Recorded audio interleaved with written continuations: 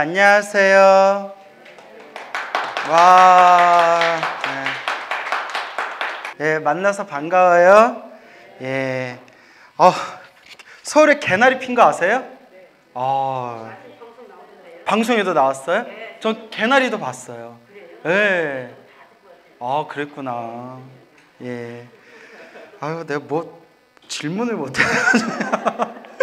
그래요. 우리 79페이지 할 차례인가요? 79페이지. 절하는 사람과 절 받는 부처님이죠? 자, 한번 읽어 볼게요. 절하는 사람, 절 받는 부처님. 불교의 절은 능례와 소례로 이루어진다. 능례, 소례 밑줄 그어주면 좋겠죠. 능례와 소례 밑줄 그으시고 자, 여러분 우리 한문경전에서는 능하고 소라는 단어가 자주 나와요. 그래서 우리가 평소에 우리가 쓰지 않는 표현이긴 한데 그다 알아두면 좋겠죠.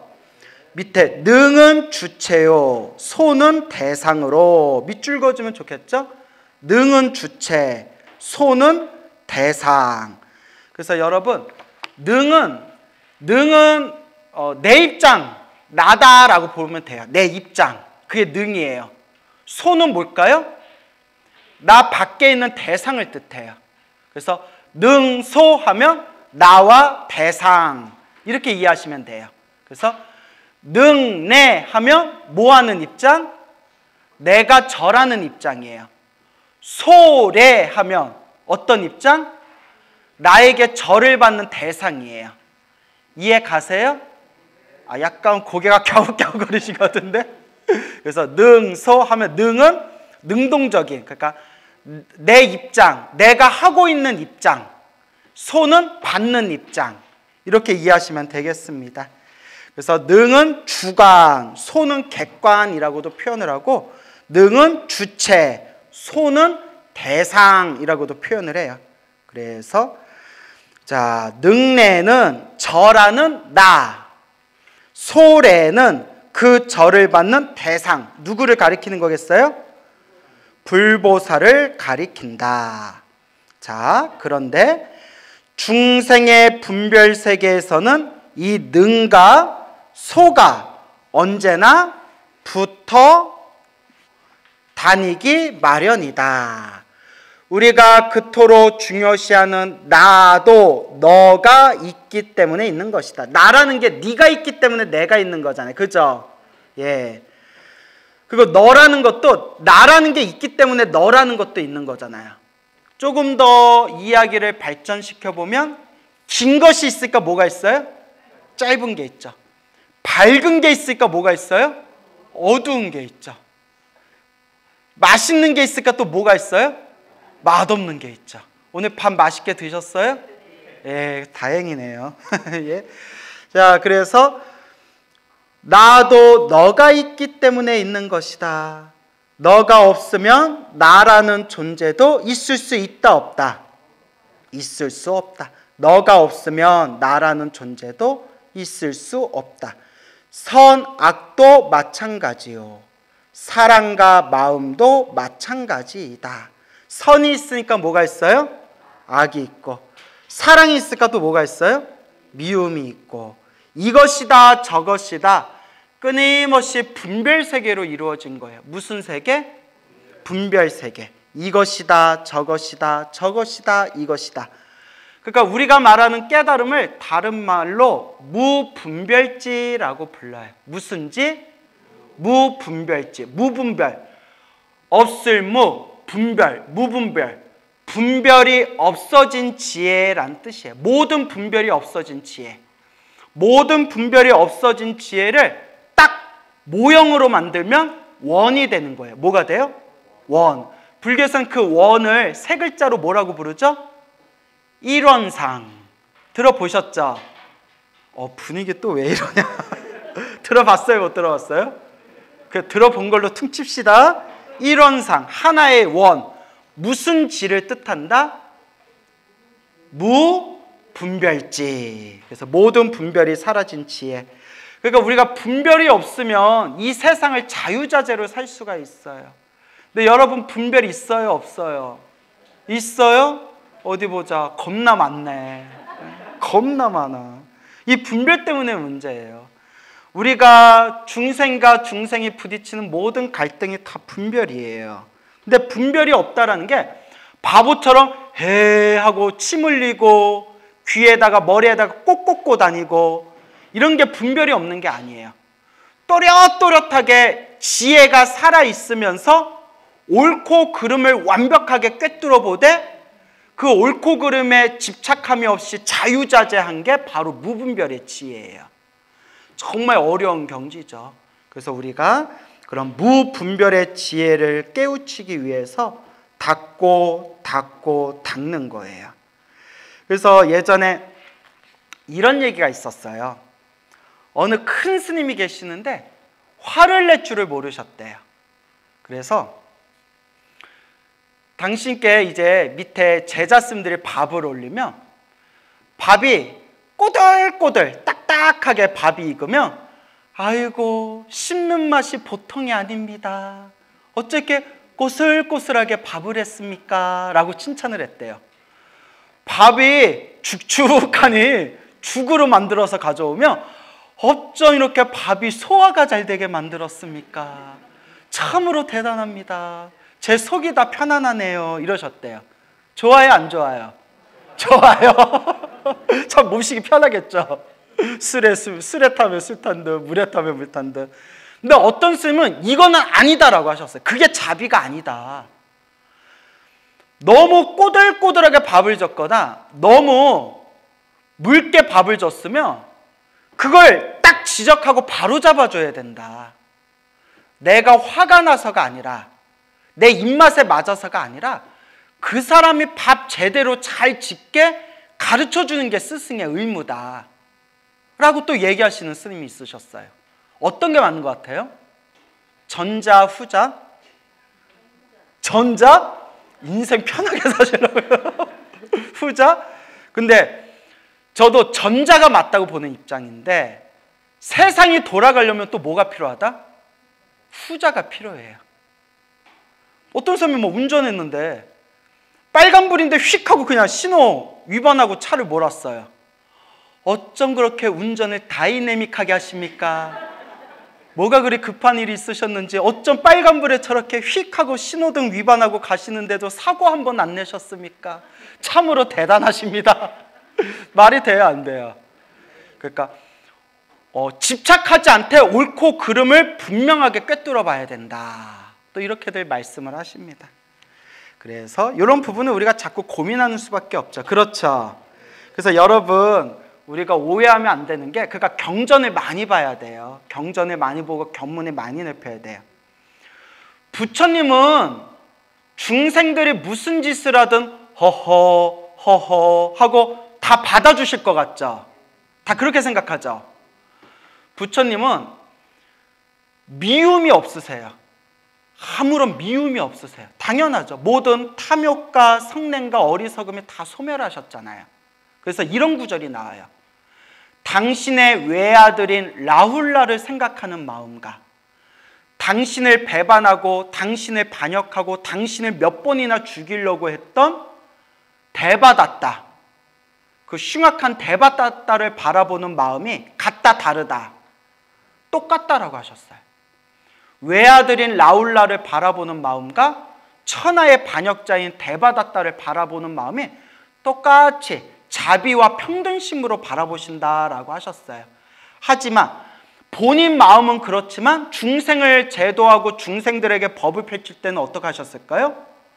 옳고 그름을 분명히 나누셨어요. 그래서 생긴 게 계율이에요. 뭐뭐 하지 말아라. 뭐뭐 하지 말아라. 무엇 무엇을 하지 말아라. 그리고 그것을 어기면 절에서 쫓아내셨어요.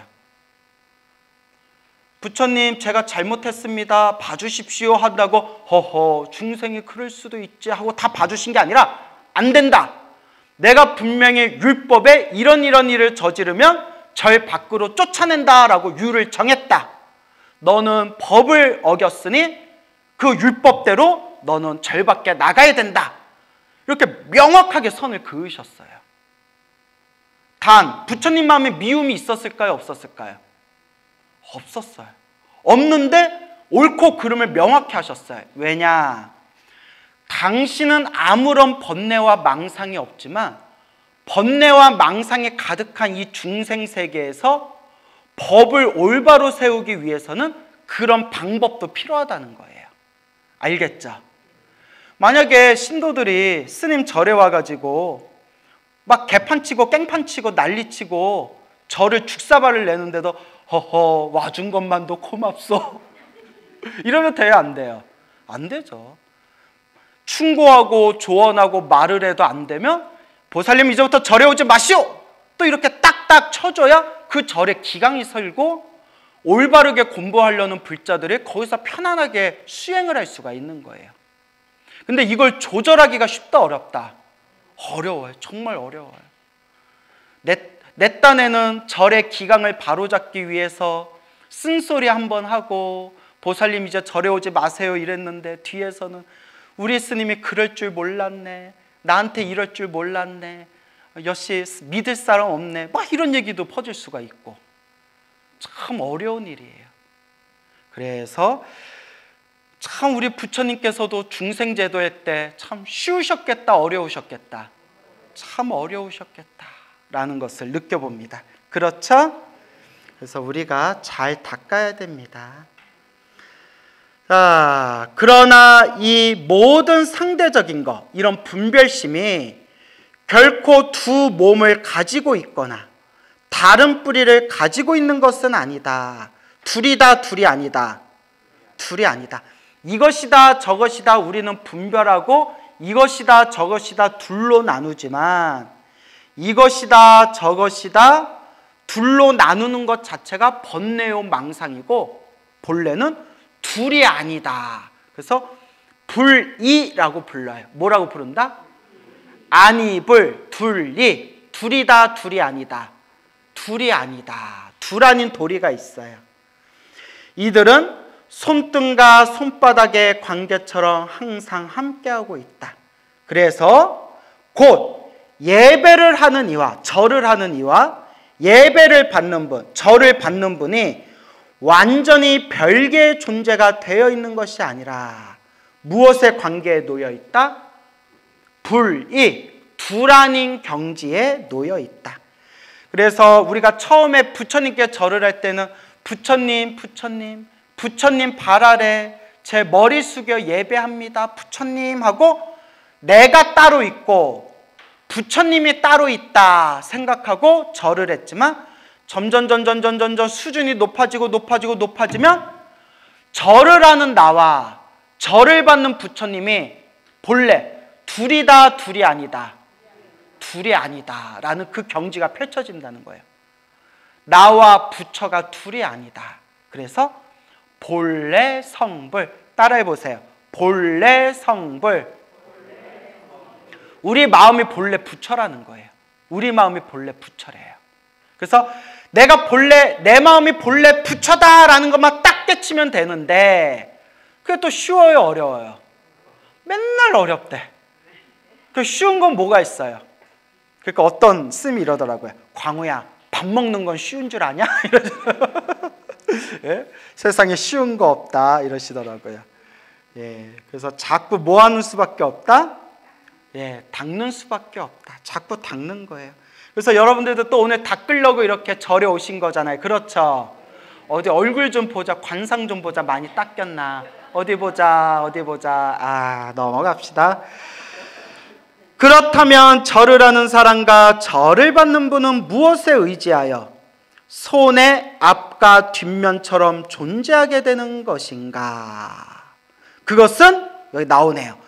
우리의 참된 마음자리다. 참된 마음자리 밑줄 짝. 자, 밑에다 적어 주세요. 불성. 불성이에요. 많이 들어보셨죠? 중생과 부처님은 본래 마음은 차이가 있다 없다. 차이가 없대요. 차별이 없어요. 부처님 마음과 중생 마음은 똑같아요. 단 때가 묻었냐 안 묻었냐 번뇌 망상과 어리석음이라는 때가 많이 묻어 있어서 중생이라 부르고 번뇌 망상과 어리석음이라는 때가 싹 사라지면 부처님이라고 부를 뿐 때가 묻었냐 안 묻었냐의 차이일 뿐이지 마음 자체는 차별이 있다 없다. 마음은 본래 차별이 없다. 그래서 화엄경에서 하신 말씀 따라해 보세요. 부처와 중생과 마음은 차별이 없네.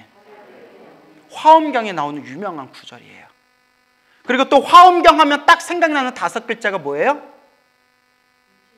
맞아요. 대답 안 하면 엎어버리려고 했어요. 맞추셨다. 일체 유심조. 모든 것은 다 무엇이 만들었다?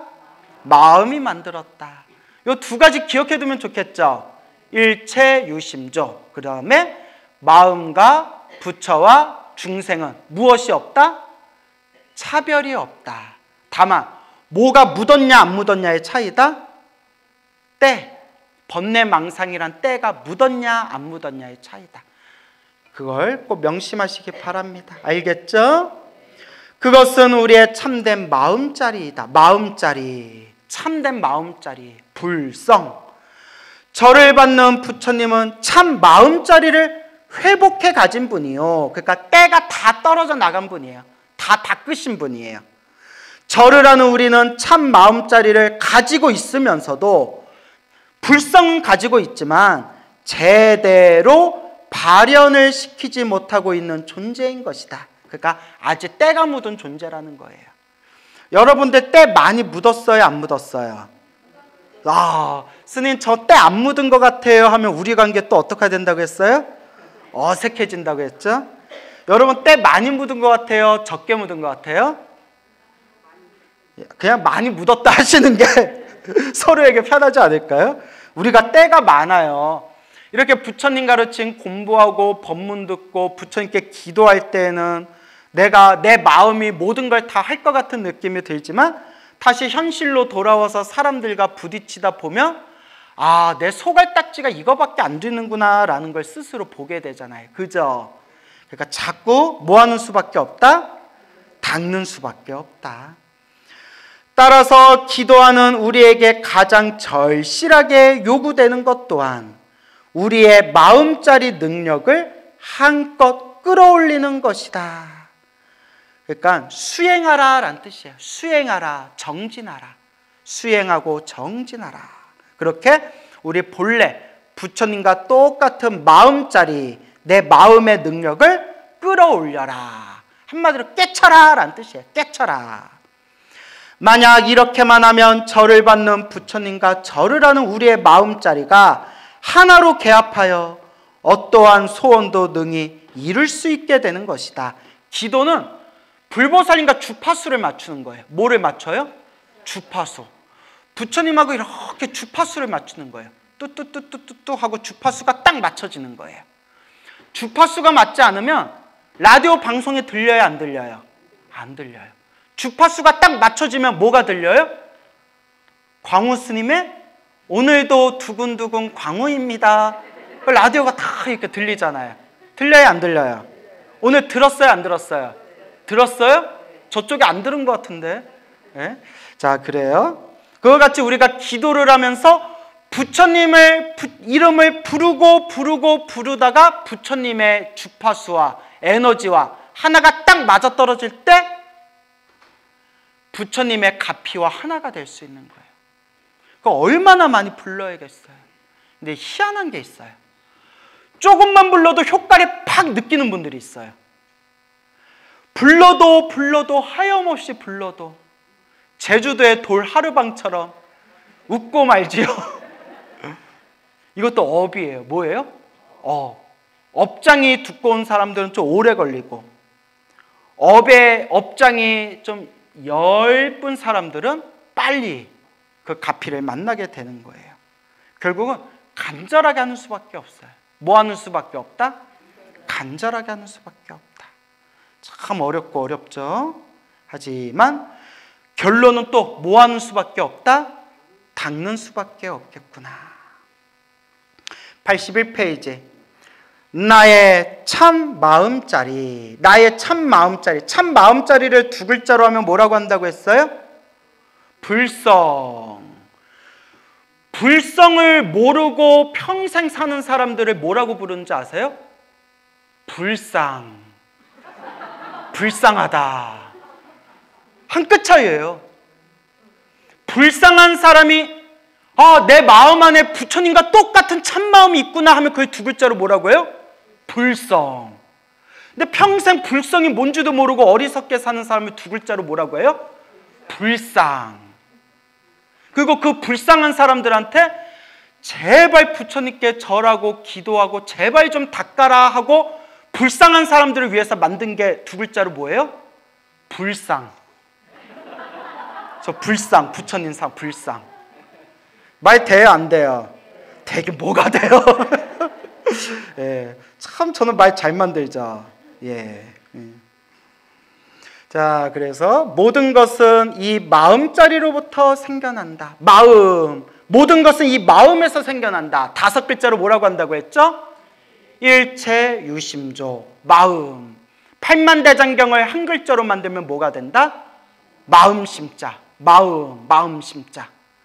마음입니다. 마음. 그래서 제가 라디오 진행하면서 정말 평소에 참불가에 관심도 없다가 라디오 진행하다 보니까 이제 온갖 참불가에 듣잖아요. 참불가가 기가 막혀요.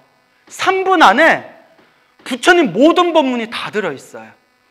그래서 참 참불가 들으면서 저도 마음에 많은 힐링을 하는데 그 중에 또 제가 가장 좋아하는 참불가 중에 하나가 몇 개 있는데 하나가 참불가 중에 마음이란 참불가 있어요.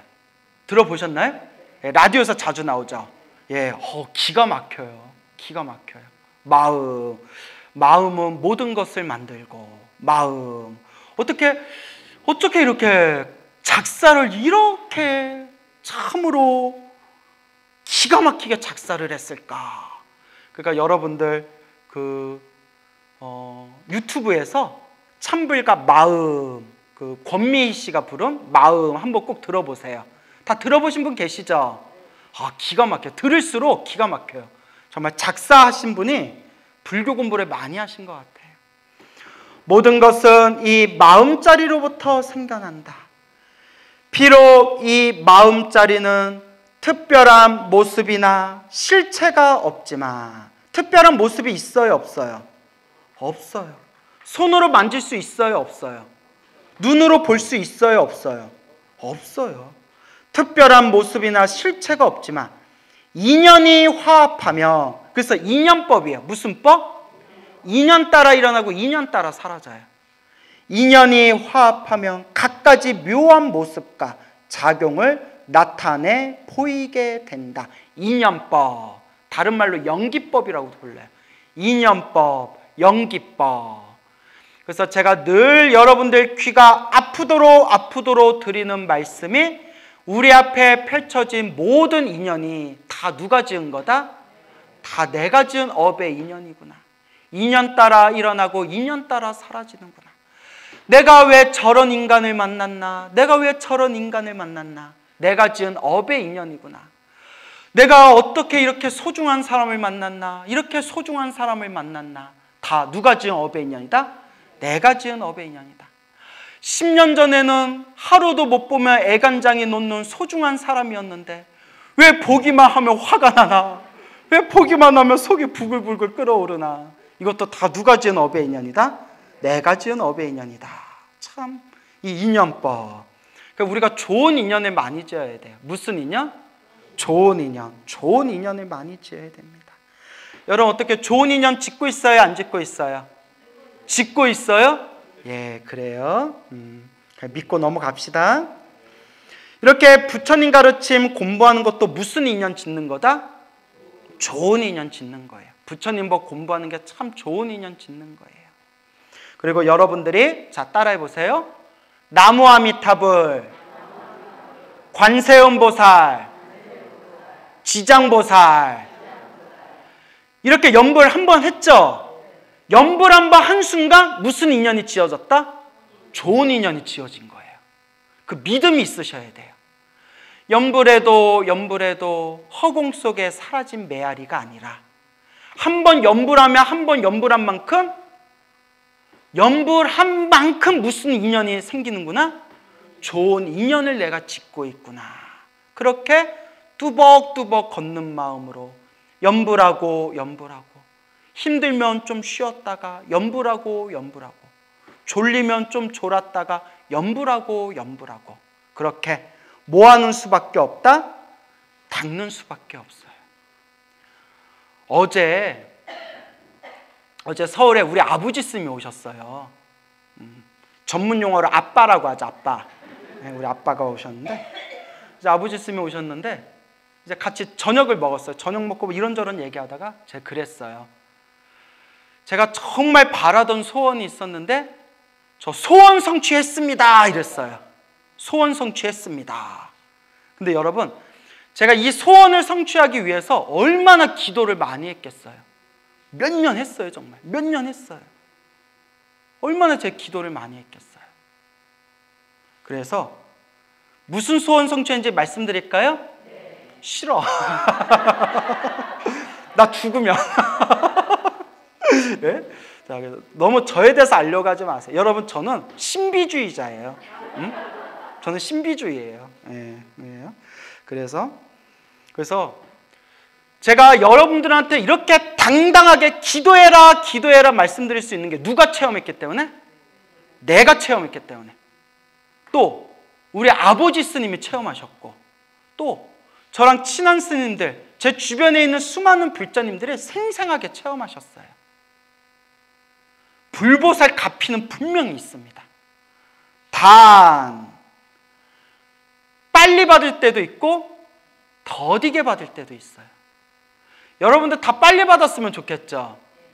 그런데 인생이 내 마음대로 술술 풀리기를 바라는 마음이 가장 큰 무엇이다? 망상이더라. 결국 내, 내 숙제와 내 빚을 갚아가면서 계속 닫는 수밖에 없어요. 그러니까 여러분, 순간순간 기도에 일희일비하지 마시고 항상 마음속으로 부처님, 시작 없는 옛적부터 알고 지었건 모르고 지었건 탐욕과 성냄과 어리석음에 물들어서 몸과 말과 생각으로 지은 모든 업보를 참여합니다. 부처님, 내 숙제와 내 빚을 갚는 마음으로, 내 업장을 소멸하는 마음으로 부처님 잘못했습니다. 잘못했습니다. 기도하고 기도하고 항상 또 마음속으로 부처님, 제가 이렇게 부처님 가르침 만나서 정말 감사합니다. 부처님 정말 감사합니다. 그 감사한 마음으로 또 부처님께 기도하고 기도하고 연불하고 연불하면서 뭐 하는 수밖에 없더라? 닦는 수밖에 없더라. 여러분 잘 닦으실 거죠? 자, 그래요. 꾸준히 우리 닦아 나아갑시다. 좋고 굳은 모든 일도 바로 이 무엇에서 일어나고 마음자리에서 일어나고 기도 성취의 근원적인 힘도 여러분들의 소원 성취, 기도 성취의 그 근원적인 에너지도 어디에서 다 비롯된다? 마음자리, 마음에서 비롯된다. 마음. 이 마음이 중요합니다. 마음. 곧 기도를 제대로 하면 참된 마음자리에서 수승하고 오묘한 힘이 흘러나와 기도를 이루게 하는 것일 뿐, 다른 특별한 존재가 있어서 감흥하는 것이 아니라는 것을 우리 불자들은 분명히 알아야 할 것이다. 그렇죠. 밖에서 구하지 마세요. 어디에 있다? 안에 있어요. 안에 있어요. 근데 여러분, 기가 좀 약하거나, 기가 약하거나, 혹은 업장이 두꺼운 사람들이 자꾸 밖으로 헤매요. 이걸 좀 하면 더 효과를 볼까? 저걸 하면 좀 덕을 볼까? 이걸 이렇게 해보면 더 빨리 내가 성취하지 않을까? 자꾸 마음 밖에서 찾아요. 그걸 깨주기 위해서 제가 생활 속의 기도법 지금 강의하는 거잖아요. 그렇죠? 여러분, 제가 기도를 체험해 봤어요. 제가, 제가 어디 막 유명하다는 기도도랑 다닌 것도 아니었고, 따로 막 시간 내 가지고 막 기도한 것도 아니었고 무슨 특별한 방법이나 비방을 쓴 것도 없어요. 그냥 시간 날 때마다 기도했어요. 그냥 방에서 하든 법당에서 하든 하다못해 힘들면 누워서라도 연불했어요. 누워서라도 에이구 그그 부처님, 그그 관세음보살님, 에이구 그 지장보살님, 에이구 그그 비웃어요? 예, 밖에서 구하지 말아라. 어디서 구해라? 마음에서 구해라. 아시겠죠? 간절하게 기도해라. 간절하게. 자, 그래서 마음의 힘은 정말 강력한 에너지를 일으킵니다. 그래서 따라해 보세요. 사려 십증대. 죽을 힘을 다하면 10배의 힘이 생긴다는 거예요. 죽을 힘을 다하면 10배 힘이 생긴다. 그렇다면 어떻게 기도할 때 이 마음자리로부터 성취의 능력이 분출되는 것인가? 가장 빠른 방법은 무엇을 다하는 것이다? 사력, 죽을 힘을 다한다. 죽을 힘을 다하는 것이다. 사력을 다할 때 참 마음자리의 힘은 가장 힘차게 뻗어나오는 것이다. 제가 살다 살다 별의별 얘기를 다 들었는데 여러분 저 학교 다닐 때 공부 잘했을 것 같아요? 못했을 것 같아요? 못했을 것 같아요. 누구야? 눈치 없이 누구야? 네, 맞췄어요. 공부를 저는 못한 게 아니라 뭐 했다고 표현한다? 안 했다고 표현하는데 자 아시는 어느 불심이 깊은 불자님이 있었는데 학교에서 공부를 하는데 항상 거의 1등을 놓치지를 않았대요. 공부를 엄청 잘했는데 제가 이거 아는 분이 하시는 얘기가 너무 공부가 재밌어서 의자에다 몸을 묶어놓고 공부했대요. 의자에다 몸을 묶고 그 공부했대요. 온몸이 탈진할 정도로. 어, 전 그 얘기가 그렇게 신기하더라고요. 여러분 그렇게 공부해 본 적 있어요, 없어요? 아, 그럴 것 같았어요.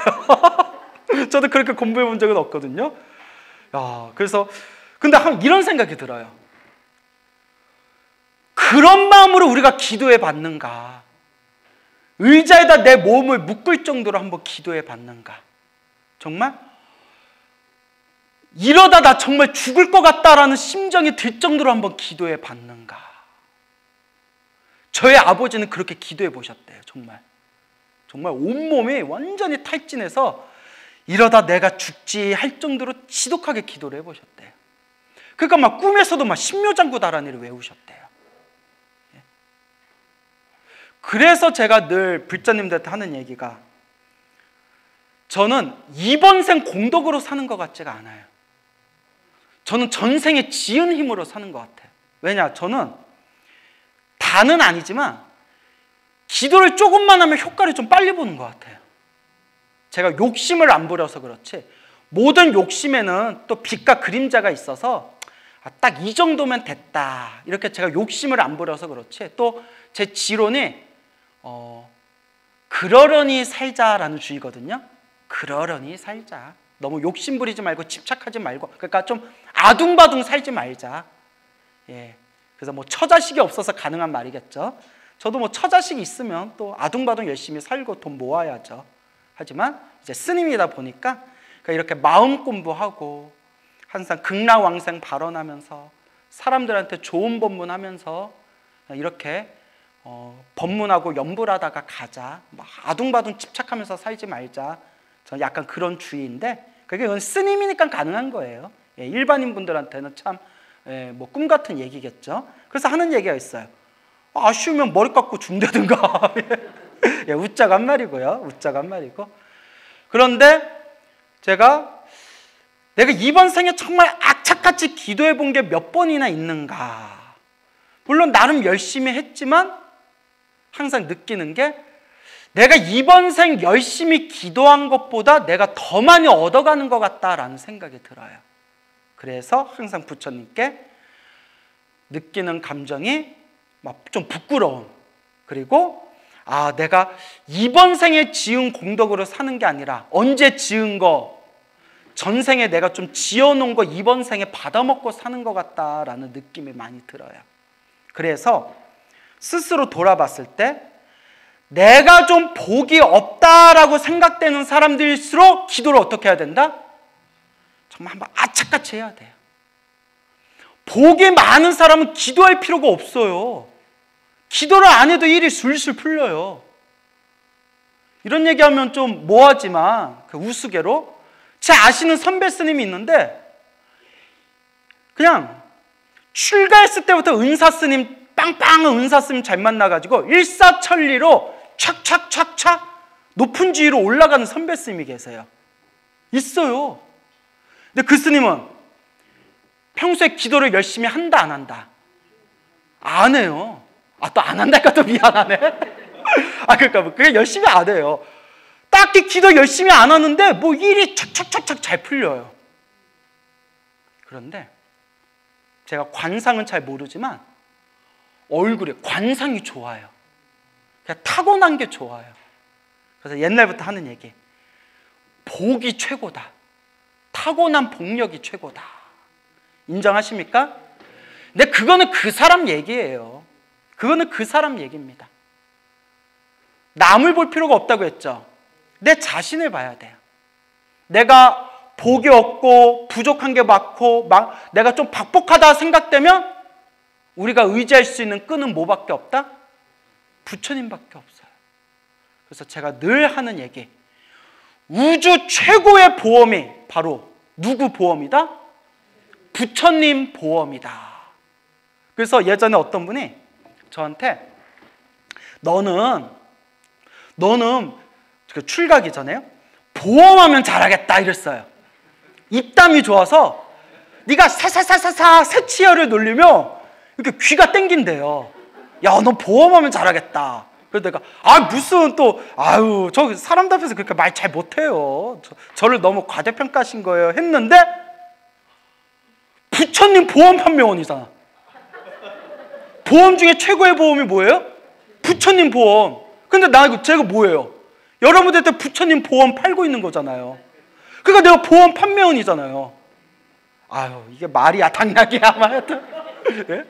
그래서 이제 웃자고 한 말이지만 인생에 힘들고 괴로울 때 가장 우리가 의지할 수 있는 최고의 보험은 누구시다? 부처님. 그러니까 부처님 의지하면서 뭐 하는 수밖에 없다? 닦고 닦고 닦을 수밖에 없다. 제가 수많은 사람들 앞에서 대중법문하면서 전국적인 인지도 얻으면서 수많은 불자님들에게 감사 인사를 받잖아요.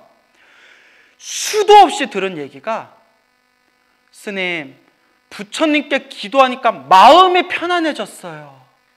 알게 모르게 일, 제 주변의 일들이 편안해졌어요. 마음이 편안해졌어요. 라는 얘기를 그냥 제 귀에 고드름이 열릴 정도로 들어요. 여기 앉아 계신 분들도 동감하시죠? 부처님의 가피는 있습니다. 제가 체험했고 수많은 분들이 체험했습니다. 그러니 밖에서 구하지 마세요. 여러분, 제가 부적으로 중생을 제도할 수 있었다면 제가 그냥 부적 그리고 있었을 거예요. 안 돼요. 아, 다 해봤어요. 심지어 제가 이런 얘기까지 했어요. 부적으로 운명을 바꿀 수 있으면 종이 쪼가리에 부적 받지 말고 어디다? 등짝에다 문신을 해라. 평생 영구 문신, 영구 부적, 쫙. 예? 목욕탕에서 쫙. 예? 착하게 살자. 이렇게. 아니 뭐 부적이 그렇게 효과 있으면 뭐하러 종이 쪼가리에다 적어요. 등짝에다 문신 딱 하면 되지. 그죠? 그 여러분 저도 경험을 몇 번 했지만 사주팔자를 무시할 수는 없어요. 무슨 말인지 알죠? 사주팔자가 기가 막힐 때 맞을 땐 또 맞아요. 다만 제가 의지하지 말라는 게 틀릴 때도 많아요. 틀릴 때도 많고 기가 막힐 때 맞힐 때도 있는데 결국 50대 50 불안전하잖아요. 그래서 사주팔자도 정말 귀신같이 맞을 때가 있어요. 저도 예전에 한번 제 사주 공부한 적 있다고 했죠. 너무 정확히 맞춰가지고 제가 등골이 서늘한 적이 있었어요. 저조차도. 하지만 뭐 할 때도 많다? 틀릴 때도 많아요. 다만 중요한 거는 이건 모든 사주 공부하신 스님들이 다 한결같이 하신 얘기인데 스님들 중에서도 사주 공부하신 분들이 있거든요. 사주팔조로는 운명을 바꾼다 못 바꾼다. 뭐, 그게 핵심이에요. 사주팔자가 맞냐 안 맞냐 좋냐 나쁘냐 그 문제가 아니라 우리가 사주팔자 보는 게 재앙을 피하고 행복을 얻기 위함이잖아요. 사주팔자를 깊이 공부하신 분들도 하신 말씀이 남의 팔자, 남의 운명 보는 걸로는 운명이 바뀌더라 안 바뀌더라? 바뀌지가 않더라. 내가 지은 업은 뭐 할 수밖에 없다? 내가 받을 수밖에 없고. 설사 10년 후, 100년 후를 꿰뚫어 보는 도사가 내가 눈앞에 닥치는 재앙을 피하도록 나에게 예언을 해줘서 내가 싹 피했다 하더라도 내가 지은 업이었기 때문에 언젠가는 뭐 할 수밖에 없다? 어떻게든 받을 수밖에 없다는 거예요. 경전에 그런 내용이 나와요. 부처님 경전에. 그러면 우리 불자에게 필요한 것은 우리 불자에게 필요한 것은 피하냐 못 피하냐 저 재앙을 어떻게 피하냐 그게 중요한 게 아니라 언젠가 어차피 내가 지은 업 내가 받을 거라면 어떻게 지혜롭게 녹일 것인가 어떻게 그 업을 소멸할 것인가 그게 바로 무엇의 힘이다? 기도의 힘이다. 기도를 엄청나게 간절하게 하셔서 큰 가피를 받으신 부처님 아니었으면 자기 벌써 목숨 끊어졌을 거라고 하시는 중년의 보살님이 계세요. 그 보살님이 완전히 제 찐팬이신데 하루 종일 기도하는 거 빼고는 항상 제 법문만 들으신대요. 이 보살님이 얼마 전에 저한테 하신 말씀이 스님 법문을 들으면서 광우 스님 법문을 들으면서 예전 기도하면서 정리되지 않은 것들이 이렇게 정리가 되더라. 아, 기도를 더 열심히 해야 되겠구나. 부처님 가피가 분명히 있구나라는 불심도 자라나지만 그동안 막연하게 알고 있던 것, 잘 이해가 안 될 것들이 이렇게 정리가 되더래요. 그 중에 하나가 내가 이렇게 기도를 많이 하고 가피도 많이 받았는데 왜 이렇게 또 안 좋은 일들이 생겼 할까라는 그런 의혹들이 있었는데 제 법문을 듣고 딱 정리가 돼버렸대. 그분이 체험하고 기도한 힘이 있으니까 한마디에 딱 정리가 된 거예요. 그게 뭐냐? 내가 지은 업은 반드시 내가 받는다. 단, 크게 받을 걸 어떻게 받는다? 작게 받는다. 거기에 딱 정리가 됐대요. 그러면서 하시는 말씀이 스님, 기도를 아무리 많이 해도 약하게라도 받기는 받더라고요. 나쁜 내 업보가 약하게라도 오기는 오더라고요. 근데 스님, 기도하다 보면, 아, 크게 받을 업을 내가 작게 받았구나라는 마음에 무언가 촉이 딱 오더라고요. 감사합니다, 스님이라고 그렇게 저한테 얘기를 하시고, 아이고, 보살님, 내가 오히려 보살님한테 기도에 대해서는 보살님한테 배울 게 더 많은 것 같습니다. 이렇게 이제 또 왜냐 컨셉이 뭐니까 겸손이니까 그렇게 말씀드린 적이 있었죠. 무슨 말인지 알겠죠? 그래서 결국은 누가 닦아야 된다? 내가 닦아야 된다라는 것을 명심하시기 바랍니다. 알겠죠? 자, 81페이지까지 읽었죠? 가장 빠른 방법은 무엇을 다하는 것이다? 사력을 다하는 것이다. 죽을 힘을 다하는 것이다. 아까 죽을 힘 하다가 이 얘기까지 막 흘러갔죠? 내 몸을 의자에 묶을 정도로 공부하듯이 정말 그렇게 한번 혼신의 힘을 다해서 기도해 보았는가? 스스로에게 물어봐야 돼요. 그렇죠? 그래서 여러분, 질로 승부가 안 되면 양으로 승부해라 말씀드렸죠? 질로 승부가 안 되면 양으로 승부해라. 여러분 신묘장구 대다라니 하루에 몇 편 정도 읽으세요? 한 번 읽을 때? 100번? 어 선생님 108번 어, 대단하시다. 예. 신묘장구 대다라니의 원형이 되는 어, 천수천왕 관세음보살 광대원만 무의 대비신 대다라니 경 줄여서 천수 대비경이라고 있어요. 예, 이 천수 대비경에 보면 신묘장구 대다라니 다섯 번 읽어라 나와요. 몇 번 읽어라? 다섯 번 읽으면 모든 소원이 이루어지고 모든 업장이 소멸한대요. 몇 번? 근데 나, 나도 한 다섯 번이 아니라 50번, 500번은, 5천번은 안 읽어봤지만 500번 이상을 읽어봤거든요. 평생 이제 중로로 타면서 500번 이상 훨씬 넘게 제가 신묘장구 다란이를 독송했겠죠. 그런데 내 업장이 소멸했는가, 내 소원이 다 성취됐는가 해보면 그건 아닌 것 같아요. 그러면 여러분들 벌써 저한테 제대로 공부하신 분들은 답이 딱 나왔죠. 어떤 마음으로 다섯 번? 간절하게. 아무 번뇌망상 없이 완벽하게 다섯 번을 읽으면 신묘장구 대다란의 위신력을 완벽하게 체득할 수 있다는 거예요. 근데 여러분 신묘장구 다란이 한 번 외울 때에도 생각이 어때요? 오만 생각이 다 일어나잖아요. 그러니까 열번 100번, 1000번, 만번 읽고 읽고 읽고 읽다 보면 나중에 무엇으로 쑥 들어간다? 삼매. 뭐라고요? 삼매에 들어가게 되는 겁니다. 아시겠죠? 네, 삼매. 사력을 다할 때 참 마음자리의 힘은 가장 힘차게 뻗어나오는 것이다.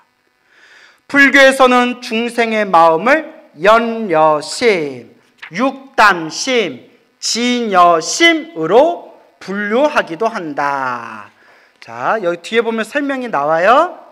이중 연여심은 다가온 인연 속에서 일어나는 평소의 마음 상태를 가리키고 평소에 우리 조건 따라 일어나고 조건 따라 사라지는 우리 마음 상태.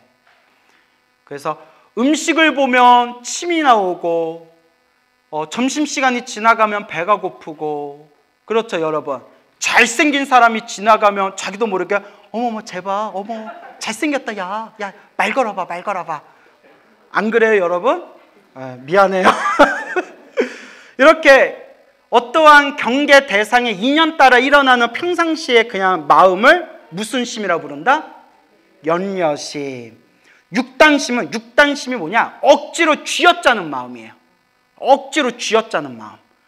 육단심은 만용을 부려 억지로 하는 것으로 보통 때는 일어나지 않다가 큰 욕심이 일면 생겨나게 된다. 그 다음에 마지막에 무슨 심? 예, 이건 깨달음의 마음. 우리의 마음 가장 깊은 곳에 자리 잡고 있는 참되고 한결같은 마음자리로서 진여심, 아주 특별한 때만 나타나게 된다. 뭐 쭉 읽어볼까요? 예를 들면서 조금 더 구체적으로 살펴보자.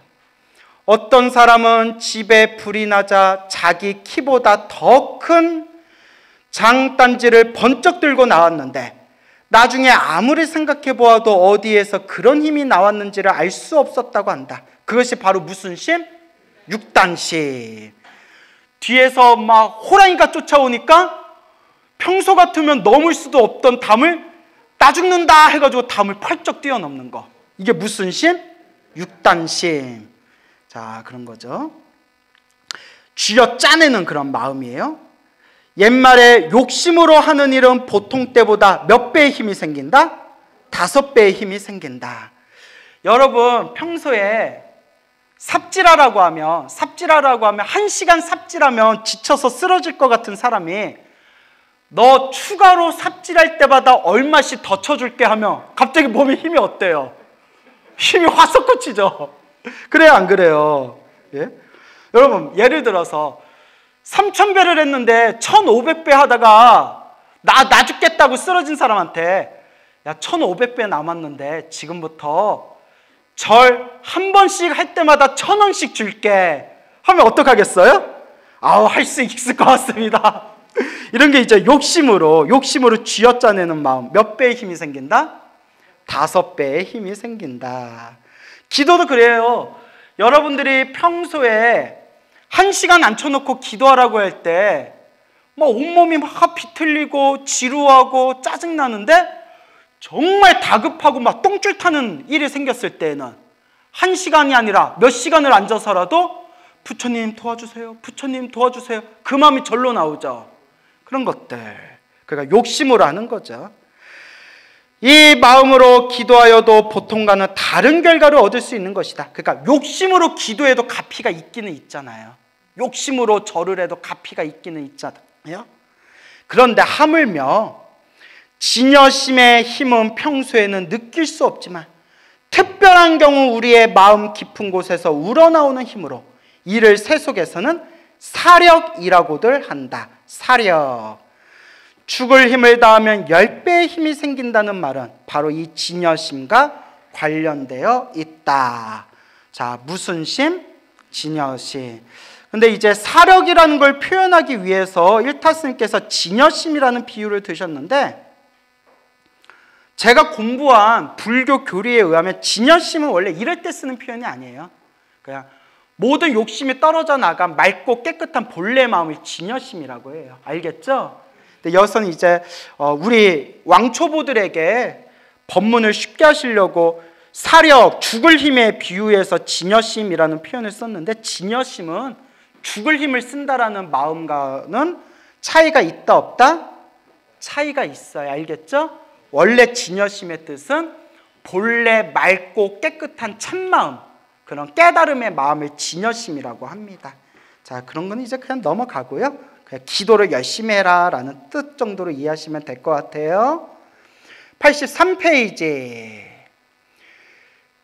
옛날 활을 잘 쏘는 사람이 밤길을 가다가 호랑이를 만났다. 깜깜한 어둠 속에서 눈에 불을 켜고 있는 호랑이를 대하자 온몸의 털이 모두 곤두섰지만 순간적으로 그는 일념 속에 빠져들었다. 죽어서는 안 된다. 저놈에게 잡아먹힐 수는 없다. 찰나지간에 순식간에 그는 화살을 활에 매겨 활시위를 당겼다. 팍 하고 꽂히는 소리가 들려 정통으로 맞춘 줄 알았는데 어찌된 영문인지 화살을 맞은 호랑이는 꿈쩍도 하지 않았다. 야, 화살을 맞았는데도 호랑이가 꿈쩍도 안 했대요. 그는 다시 화살을 날려 정통으로 맞췄지만 이번에도 호랑이는 그대로 앉아 있었다. 그래서 다시 활시를 당겨서 모두 몇 방을 맞췄다? 세 방을 맞췄다. 세 방. 전혀 움직이지를 않았다. 거참 이상하다라는 생각과 함께 주위를 둘러보니 사방은 칠흑같이 어두웠고 벼랑간 무서운 생각이 들어 걸음아 날 살려라 하면서 집으로 뛰었다. 그 다음 날 손에 손에 무기를 든 동네 사람들을 이끌고 그곳으로 가서 보니 화살을 쏘았던 그 화살 맞은 호랑이가 있던 자리에 가보니까 마땅히 죽어 있어야 할 호랑이는 간 곳이 없고 그 자리에는 호랑이를 꼭 닮은 무엇이 서 있었다? 바윗돌이 서 있었다. 그 호랑이가 아니고 무엇을 잘못 본 거예요? 바윗돌을 호랑이로 알고 화살을 몇 방 쏜 거예요? 세 방을 썼는데 그리고 어젯밤 자기가 쏜 화살 세 개가 거기에 바윗돌에 박혀 있는 것이 아닌가. 야, 그거 참 이상하다.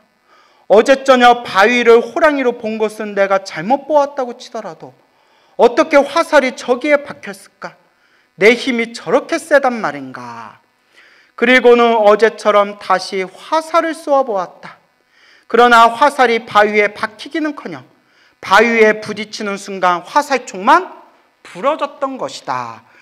바위가 진짜 호랑인지 알고 죽을 힘을 다해서 쏜 거예요.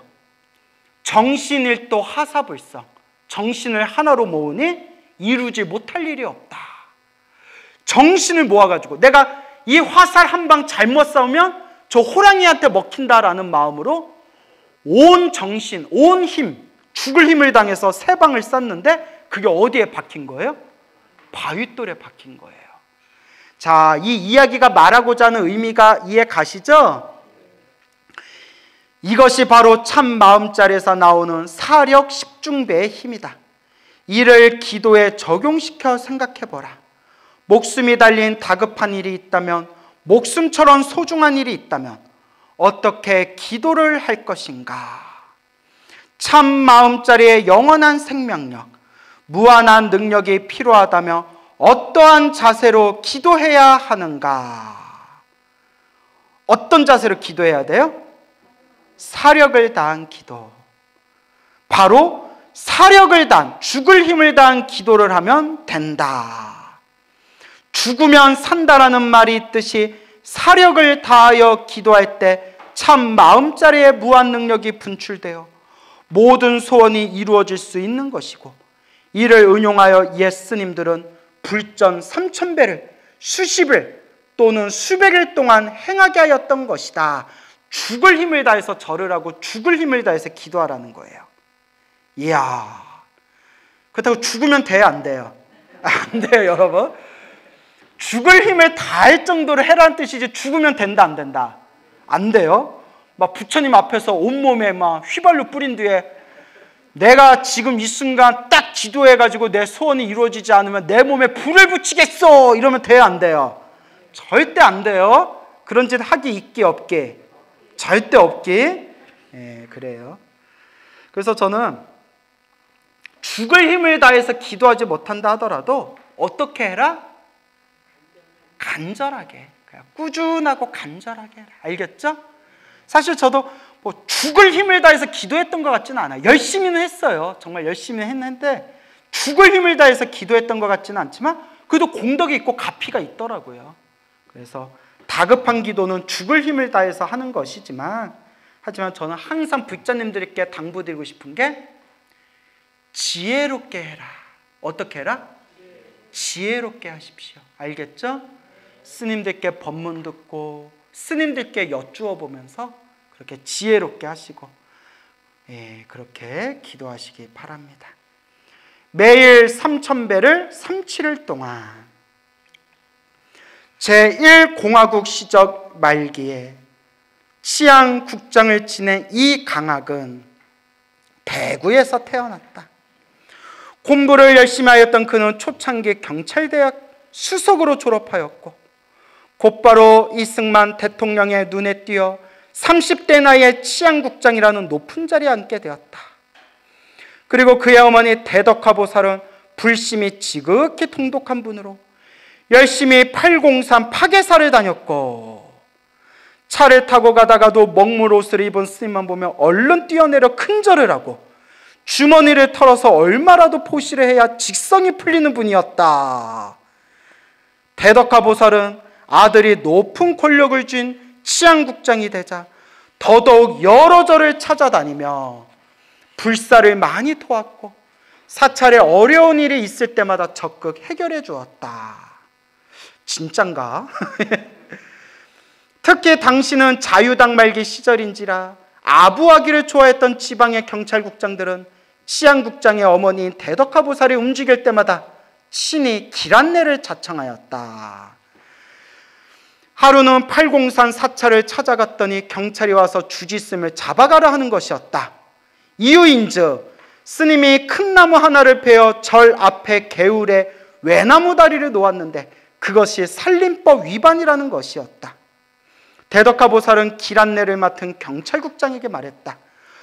걸음도 제대로 못 걷는 나 같은 노인이 개울을 건너다가 넘어지기라도 하면 어떻게 되겠소? 외나무 다리를 놓아야지. 예, 지당하신 말씀입니다. 그렇다면 이 주지스님 일도 잘 해결되겠지요? 여부가 있겠습니까? 야, 사람들이 이래서 높은 자리에 올라가려고 하는구나. 예? 그렇죠, 여러분? 이렇게 말 한마디에 다 해결이 돼버리네. 예. 그래요. 참, 이 중생들 살아가는 세계가 다 이래요. 이렇게 대덕하보살은 어려운 일에 해결사 노릇을 하였다. 그러니까 그런 생각이 들어요. 저는 뭐 부귀 영화에는 관심이 없지만 이왕 부귀 영화를 구하고 높은 권력에 오르기를 바란다면 부귀 영화를 누리고 높은 권력에 올라가되 그 힘을 어떤 곳에 쓰면 좋겠다? 좋은 곳에 쓰면 좋겠다. 그렇죠? 예. 누군가는 대통령 해야 되잖아요. 누군가는 장관을 하고 누군가는 국회의원이 되고 누군가는 높은 자리에 올라가서 일을 해야 되잖아요. 근데 이왕이면 그 힘을 어떻게 쓰면 좋겠다? 좋은 곳에 쓰면 좋겠다. 여러분들도 다 동감하시죠? 근데 우리 중생들 마음이 그렇지 않은가 봐요. 높은 자리에 올라가면 자기도 모르게 무슨 질을 하게 된다? 갑질하게 된다. 우리 중생의 탐욕과 성냄과 어리석음이 가득하기 때문이죠.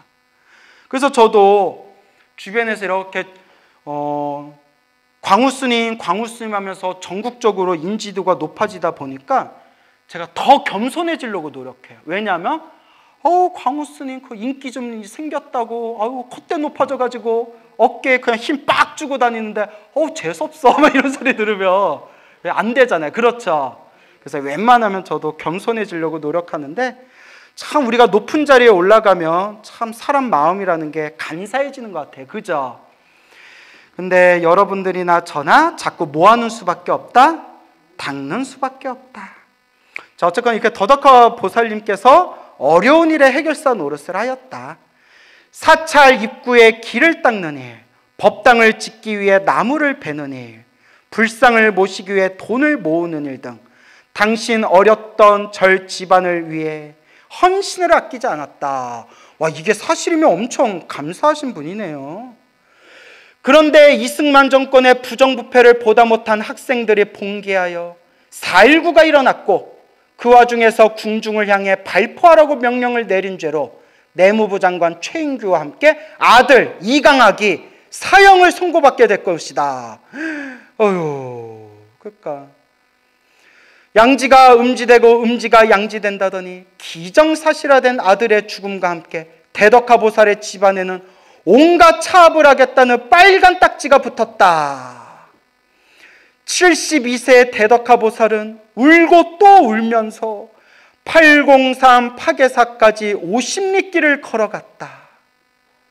그리고 보성 스님 앞에 엎드려 피눈물을 흘리며 하소연을 하였다.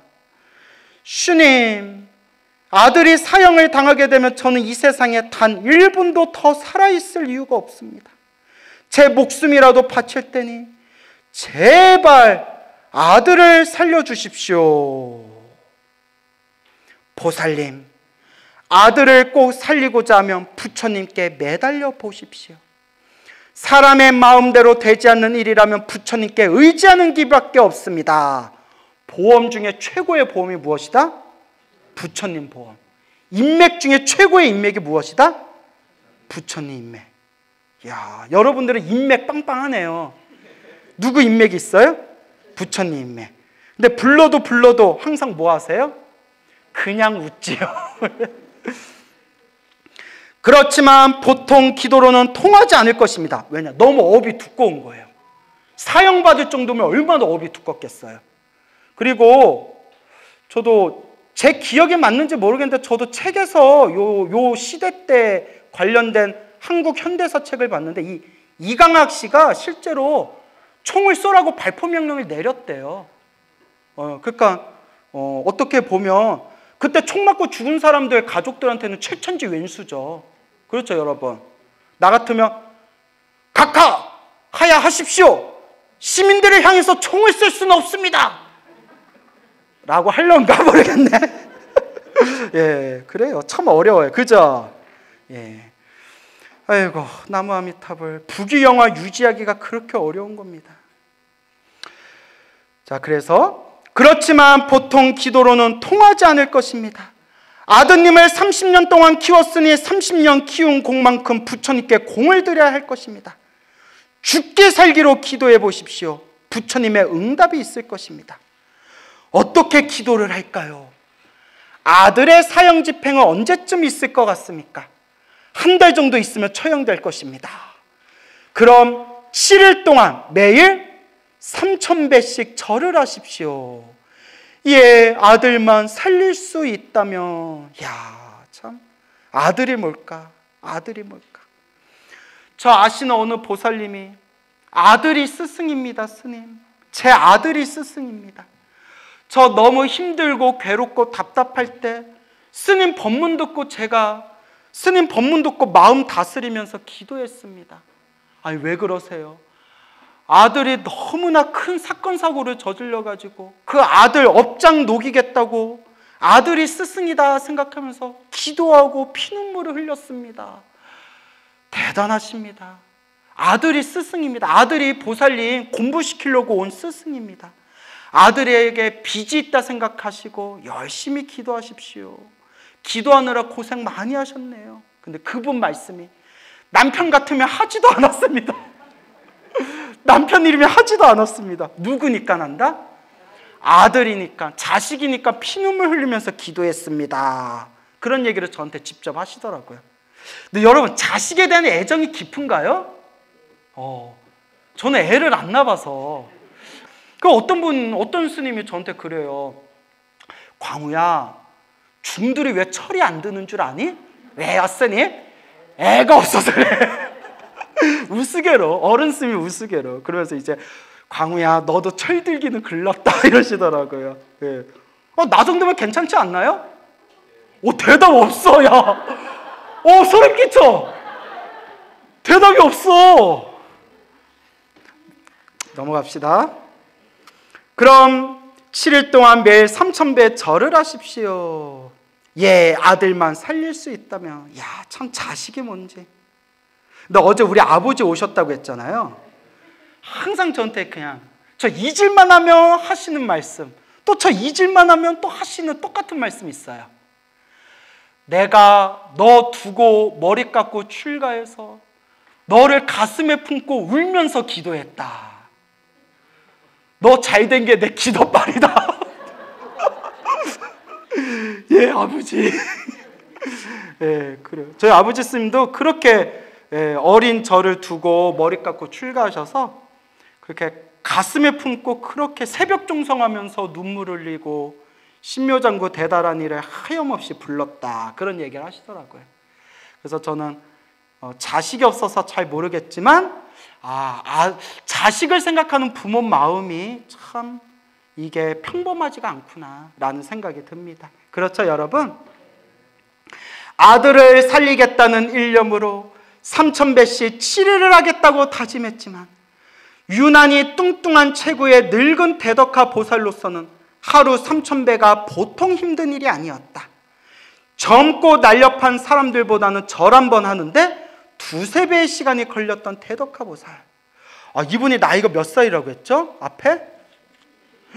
세상에 72세 그 뚱뚱한 체구로 그 나이 드신 몸으로 관절도 아플 텐데 첫날 1천배를 했을 때 그녀는 이미 파김치가 되어 있었다.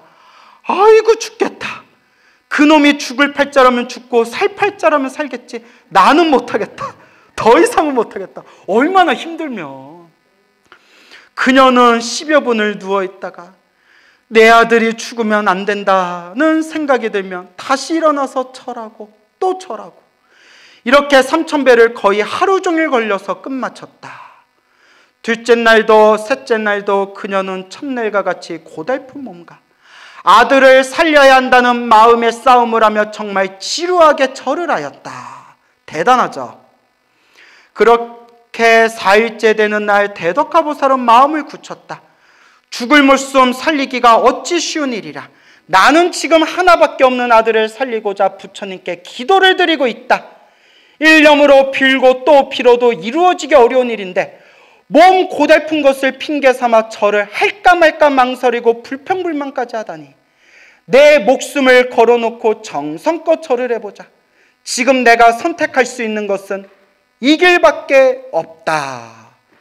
이야, 대단하다. 이렇게 결심한 그녀는 4일째부터 이를 악물고 기도하기 시작했다.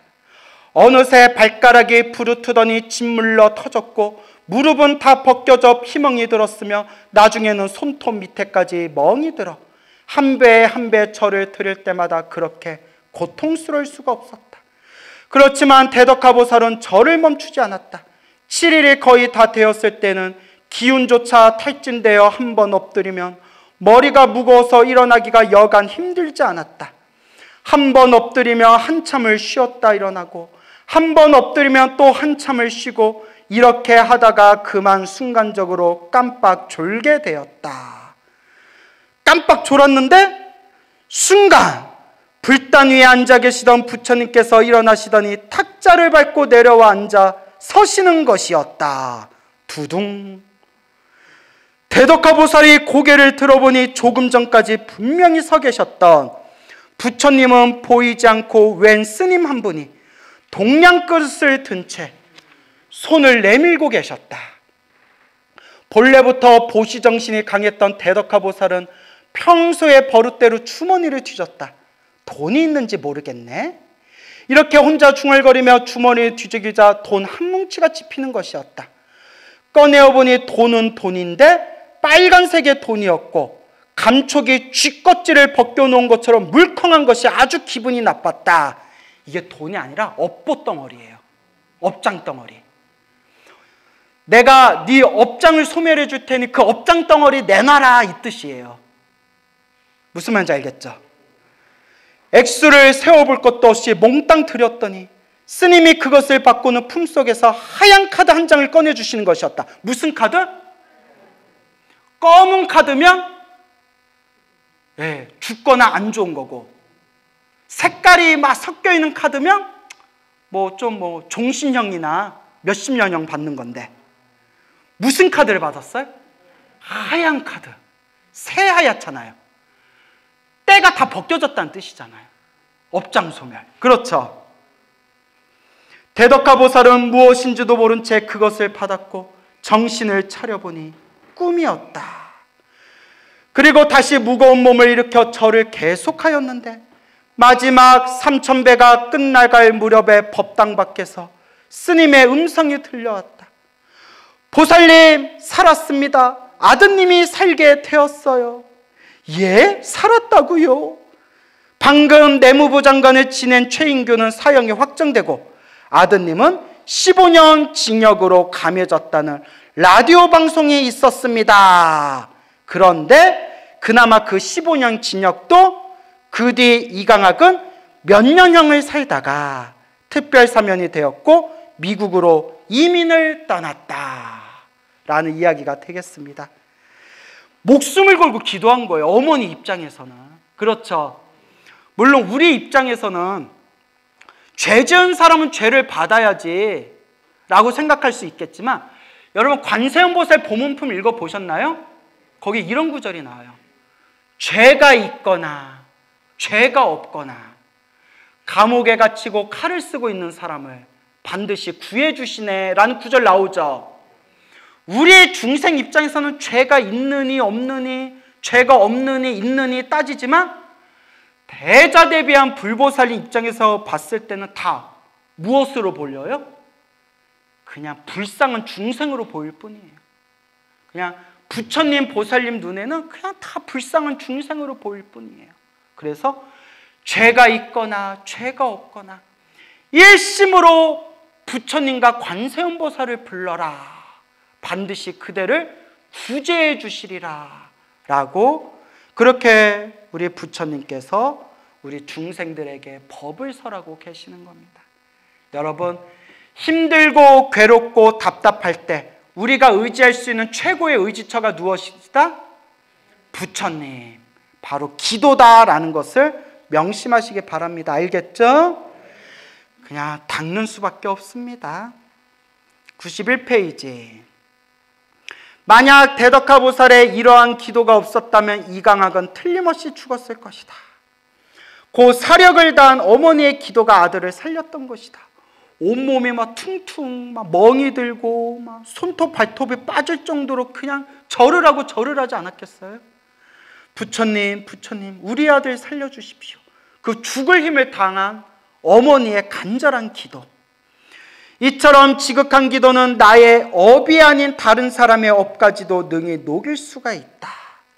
일찍이 부처님께서는 살인 등의 큰 죄를 범하였을지라도 불보살림 전에 지극히 기도를 하여 서상을 입으면 죄가 다 소멸된다. 서상. 서상 이제 불보살림의 신비로운 가피의 모습을 서상이라고 불러요. 서상. 그래서 뭐 대표적인 게 불보살님이 나타나 주셔서 어, 나를 뭐 깨끗하게 목욕시켜 주시거나 뭐 이마를 만져 주신다거나 향을 가져와서 내 몸에다가 향을 지져 주신다거나 뭐 그런 특별한 서상 그러면 죄가 다 소멸된다고 하셨다. 이것도 다 경전에 나오는 내용이에요. 하지만 그런 현상에 너무 집착하면 된다 안 된다? 안 돼요. 예전에 십몇 년 전에 어느 노보살님을 만났는데 해인사 백년암 신도였어요. 백년암. 백년암 아시죠? 거기에.